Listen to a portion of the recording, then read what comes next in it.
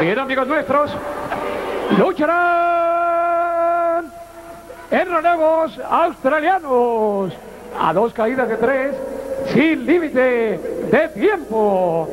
En la esquina ruda se encuentra la tremenda tercia integrada por el tremendo Lince Lee.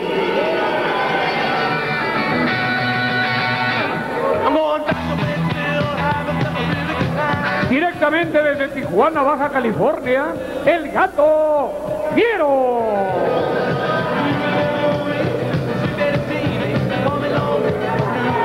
Y como capitán de su bando, quien espera ser ya campeón en este 1996, América.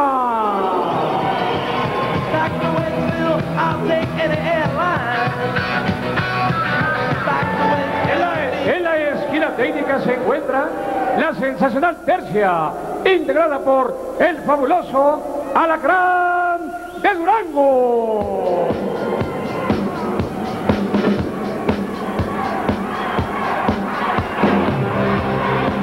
El cadete del espacio, Ultraman Junior.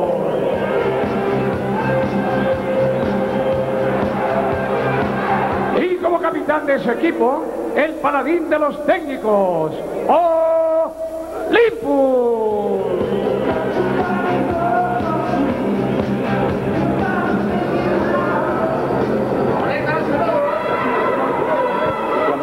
Bien, señoras y señores, escucharon ya el sonido oficial aquí en esta Arena Coliseo.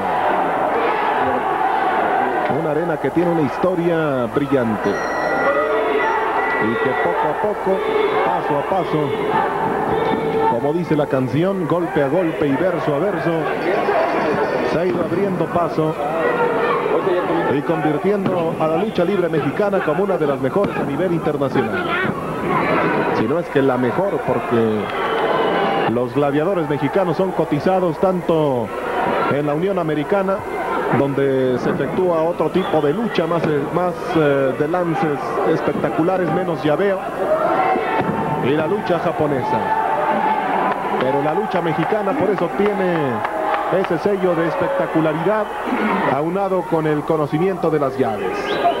Es decir, tiene la mezcla de ambas y por eso es de las mejores. Aquí con esta japonesa, Oukigochi. Este que es Ultraman y castigando a América. Ustedes lo perciben bien con ese uniforme a la usanza tradicional. Si lo llegáramos a ver sin máscara podríamos confundirlo con... ¿Con quién? Con Luis. Con Luis García. O quizás con... Con Del Olmo, con Blanco. Exactamente. O con Juanito Hernández. Exacto, también. Con Sagen no. No, con Sagen no, es demasiado alto y además el cabello rubio. Pues ahí te los dejo, mi querido Jesús Zúñiga. Bueno, pues aquí estamos en la primera caída, precisamente, amables amigos de Televisa. Esa de muñeca. Este es precisamente Fiero, el que está sobre la plataforma. La gente está apoyando a los técnicos en la esquina donde precisamente está el alacrán de Durango, Ultraman y Olympus, que, está, que está sobre la plataforma precisamente. Girando bien, Fiero de arriba, plancha tibia. No le metió todo el vapor para dejarlo sobre el tapiz. Vaya esto a colación lo que, con lo que sucede literalmente con las amas de casa, ¿no? Quedó, eso que ustedes vieron es una plancha.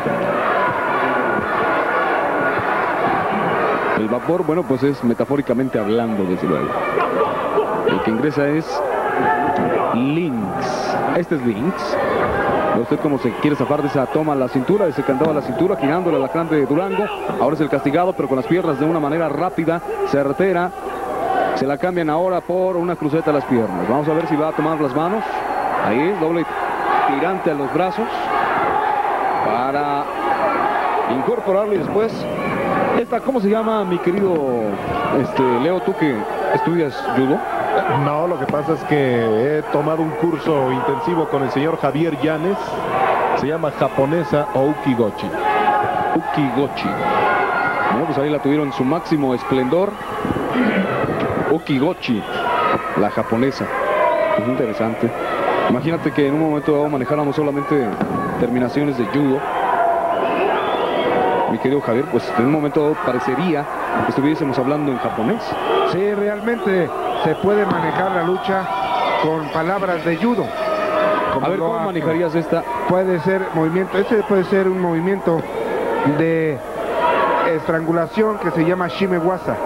Shimewasa es estrangulación y lo que estaba haciendo este movimiento puede venir de ahí una derivación de Ponce y Nage y de ahí una derivación de Osotogari. Son movimientos que la gente que sabe judo, aquí es un kubinage, son movimientos que la gente que aprendió el judo pues sabe eh, a lo que se está refiriendo uno. Pero propiamente, como tú dices, si habláramos movimientos de judo, en la lucha libre veríamos que se pensaría que estamos hablando en japonés y no es así. Y aquí están las acciones de Ultraman y América. Estas evoluciones por parte de Ultraman, que es una japonesa bien realizada. Y aquí las tijeras voladoras para que América salga, lo reciba con un derechazo. Y aquí se confía América para salir de bandera, Leobardo Magadán. Así es, mi querido Javier Gusano de Seda. Todavía vimos ahí Ultraman haciendo esa pose al estilo arte marcialista, saludando al público muy efusivamente cuando está entrando este que es Olympus, enfrentando al Gato Lynx. Ambos tienen experiencia gladiando. Y vamos a ver de qué cuero salen más correas. Cayó mal ahí. Y aquí viene esta plancha por parte de el alacrán de Durango y luego estas patadas en cascada. Esto parece el epílogo de esta que es la primera caída. Mi querido Javier Gusano de Seda Llanes. Realmente aquí los que se entregaron fueron los rudos Leobardo y Jesús, puesto que los técnicos estaban dudando de sus actuaciones, dudando de sus acciones, pero al final llevaron a los rudos a rendirse para llevarse esta primera caída Jesús Zúñiga. Sí, así ha terminado la primera caída aquí en la Arena Coliseo de Perú 77. Vamos a observar la repetición para todos ustedes, amables amigos de Televisa. Con ustedes, Javier Gusano Llanes. Aquí se estaba entregando propiamente Lynx y este movimiento de plancha, esta es sensacional, puesto que cae sobre su objetivo, pecho con pecho, y aquí Ultraman estaba dudando, pero finalmente se entregó ahí Fiero, este profesor de música en una escuela secundaria, y al fondo de sus pantallas Alacrán está dando cuenta de América, y así la primera caída es para los técnicos Leobardo Magadán. Pues aquí tenemos eh, la imagen de este que es Lynx Fiero. y Fiero que estaba ahí precisamente ante la imagen de ustedes. Sí, propiamente se parecen mucho, Leo. E incluso cuando luchaban en trío con el felino, el felino llegó a usar también su vestimenta, pero en negro y blanco. Ajá. Entonces se confundían más. Y, e, e incluso Lynx y Fiero usaron también en alguna ocasión cuando hicieron trío el color naranja y negro. Ahí están las acciones de Olympus.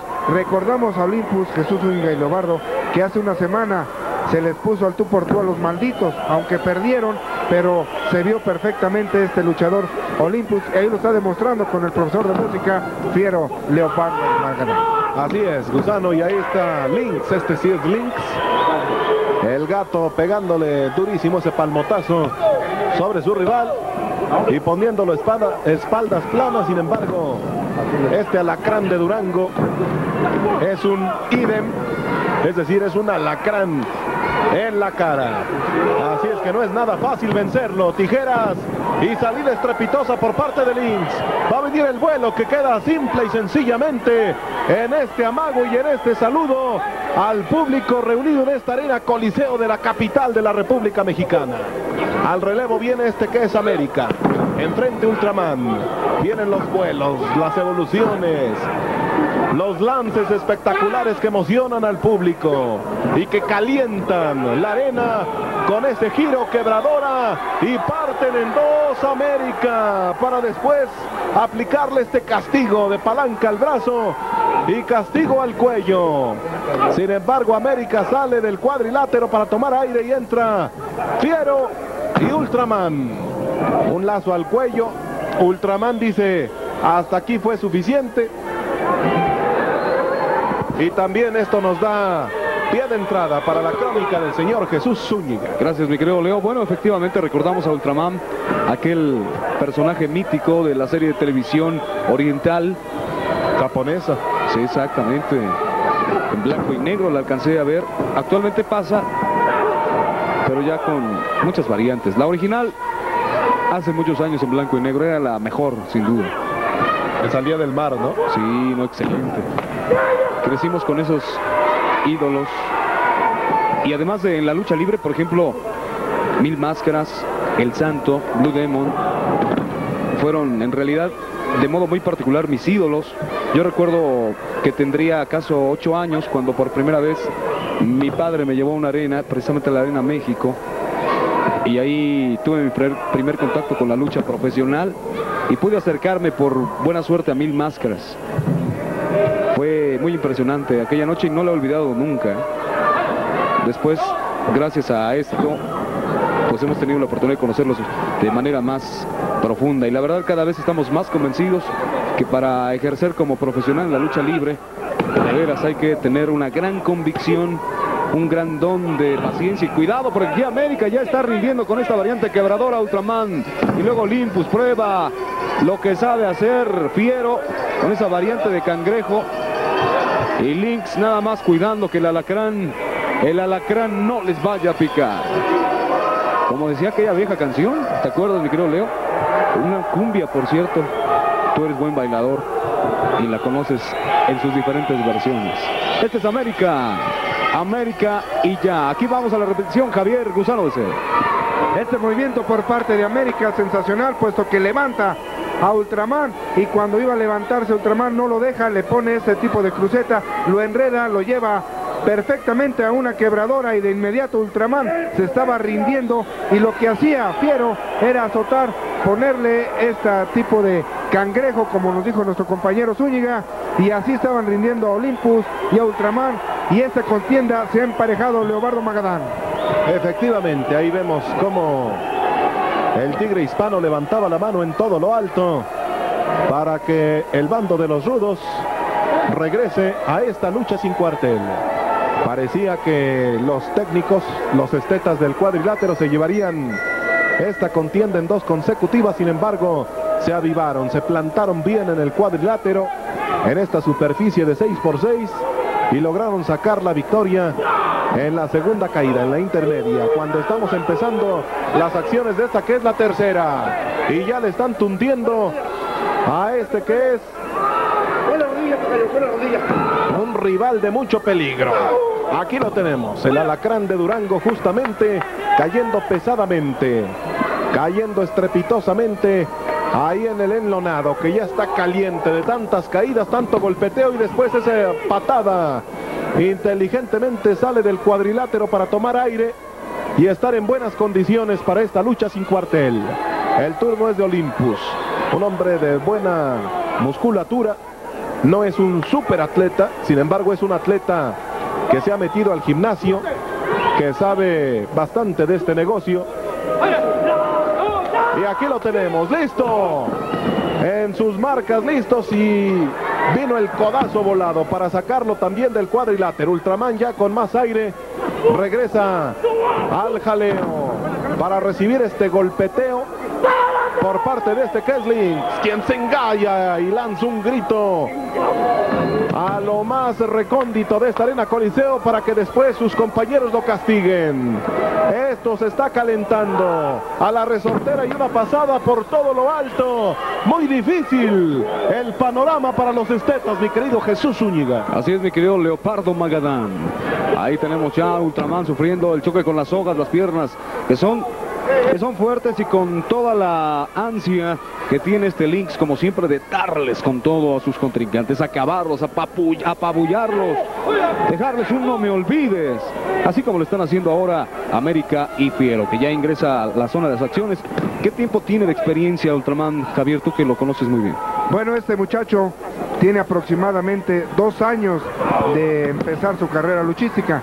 Y lo que estabas hablando de Lynx es algo realmente excepcional, puesto que este luchador les voy a platicar, antes se llamaba Águila Real, antes de ser Links, nunca perdió la máscara, por eso pudo cambiar de nombre y de equipo. Él sufrió aquí en la arena Coliseo, después de un tope, una, una este, fractura expuesta. El hueso se expuso, salió de la bota, eh, le hicieron una operación y ahí lo tienen ustedes gladiando, haciendo sus movimientos a la perfección, lo que es el metabolismo de un deportista y las ganas de seguir en ese luchador. Ahí tenemos a Ultraman, del que estábamos hablando, eh, nuestro productor Salvador Núñez, es de Lynx, que se fracturó aquí en la Arena Coliseo y ahí está de regreso y está haciendo sus cosas muy bien ahora como rudo. Sí, tiene una buena etapa como rudo Javier. Cuando observamos este que es América, un hombre que me gusta como rudo, en ese bando se desenvuelve a la perfección, tiene carisma y personalidad. Eso es algo que no se compra en la botica ni en la tienda de la esquina. Es algo con lo que se nace. Ha tenido muy buena época este América. Tú recordarás algunas de sus hazañas, Javier. América ha sido Sí, campeón. Sí, ha sido campeón mundial welter en la pista Arena Revolución. Lo realizó con Ciclón eh, Ramírez, también con Felino. Tuvo buenas actuaciones. Nada más, fíjate que tuvo un problema muy grande. Ahí tenemos este vuelo sensacional por parte de Ultraman. Cuando le estábamos platicando eh, anécdotas de este luchador América. Y ahí Leobardo Magadán está por salir con este sensacional movimiento inmortal hacia el frente de Alacrán de Durango. Sobre la tercera cuerda, emocionando al público de esta arena Coliseo.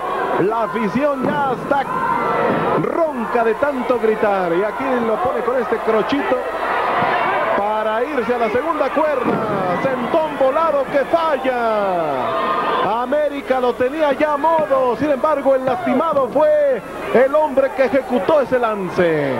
Este América, de quien platicabas, mi querido gusano de seda, de buena estampa, que fue campeón mundial.